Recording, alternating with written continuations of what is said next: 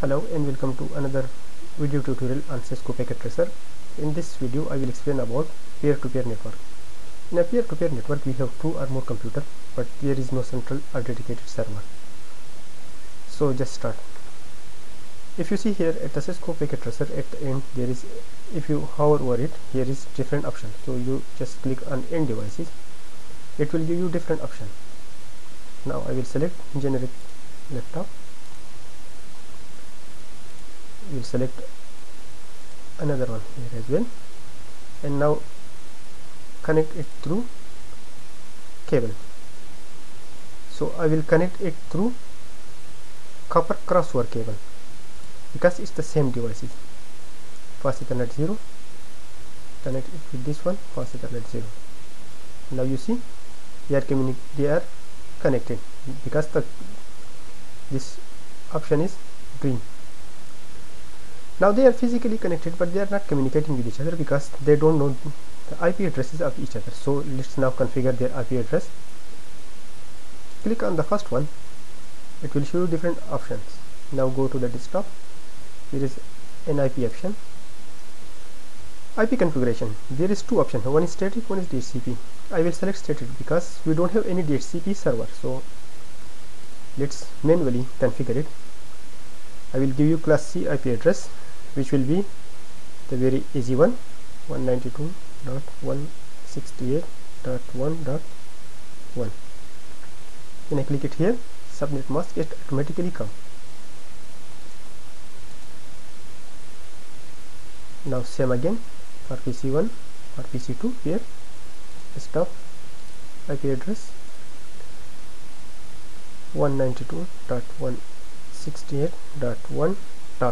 I cannot give to one because I already gave to the first one PC so I will give it to PC2 same option subnet must come automatically let's close it close this one as well.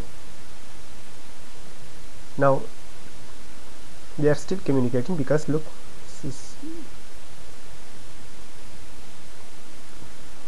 when you fast forward time low it will be okay now how I I know that these two laptop are communicating with each other are we are we configured in it correctly? So there is one simple option we call it ping. So let ping this PC let ping this PC from this one. So again click it here go to command prompt and write ping. In which PC the second one. So what was the IP address of that one? It was 192.168.1.2 now you see it's pinging reply from 192.168.1.2 byte 32 byte time 58 millisecond. TTL is 128 58 millisecond is too too much high but anyway it's simulated environment so but the other but the next one is 0 millisecond. TTL is time to live. If we look at the statistics we packet we sent 4 packet and we received 4 packet. Lost is 0 so 0 percent loss. So it is successful. Now to be sure we ping again this computer from this one. Command prompt ping 192.168.1.1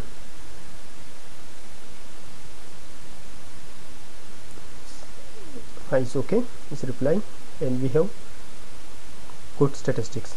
4 packet we sent and 4 packet we received no loss 0% loss. So it's okay.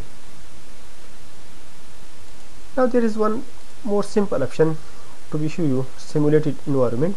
I will add simple PDU packet data unit I select here. Put in this PC where I want to put to send this one to this PC I will select simulation environment there is different option. You can select visible event but I will edit this option because it's too many. It will take too long. Just I will select one options which is ICMP protocol when I capture autoplay it's going to this PC here is laptop 1 and it's going to laptop 0 and again it's coming here. And you can see here the, the statistics successful source is laptop 1 and destination is laptop 0 and what was the protocol? ICMP so you can see that these two PC are communicating with each other and this is simple peer-to-peer -peer network. Now in the next tutorial I will show you a bit advanced about this. See you in the next video. Thanks